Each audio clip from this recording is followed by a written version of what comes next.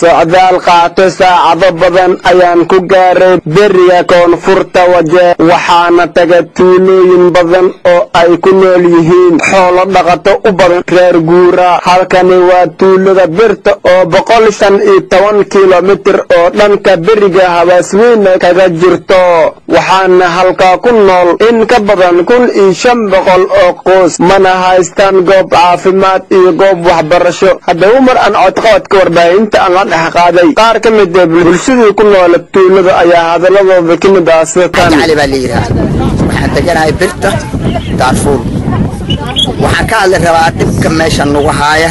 Deegaankan aan deganahay waxaa meeshan degan dad xoolaaley ah oo reebaadii ah dhibka meeshan nagu haya waxaa ka mid ah dhibka meeshan nagu haya waxaa ka mid ah ma qabno iskuul ma qabno caafimaad. Caafimaad la'aan iyo iskuul la'aan labadaasaan haysata. Waxaan deganahay meeshan lix sano oo kaamil ah intaas wax ilaahay leeya caafimaad oo haysanana ma leh?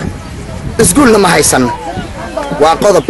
Waxaa kaloo jiroo dheeri nooe ruuxii meeshan ku umar oo bilcaan ah habeen barkii halkaana laga aadiyaa qaxootiga. Intaasoo jeeraa qaxooti la aadi oo dhexda ku dhiigbaxeen dhibka dhibaatahaasaa meeshan ugu haysata. Un haysanin daktar ee bilcamaha ku istaal oo umulaade sagaal saco hubinimo bilcamaha markay fooshaan meeshaan lagula carara qaxootiga dhagaxley la geeya oo dhexda dhibaato ay ku qabsanayso ay ku dhiigbaxayiin oo wax ilaahay uunta oon haysano istaal iyo jirin. Wax mar noo imaaday oon qalqaano istaal miigaa jirin. Ilmaheena lixda cunug baa lix sana meeshaan deganahay lixdan cunug baa joogaan meeshaan. Oo wax istaal oon ku haysana wax barasho oon ku haysana iyaan jirin. Tuuladan dhibaato badanaa ka jirta. Lix sanaan deganay cabdi buraan xuseen baa la dhahaa waxaan ka hadlayaa marka meesha waxaan joogaa location daarfuur allah locationkan waxaan ka hadlayaa dirta iyo dhibka lagu hay qaxootiga xoolihii maarata abaarta xun baa nahaysa geedihii wax abaq oo dhaqan male geed.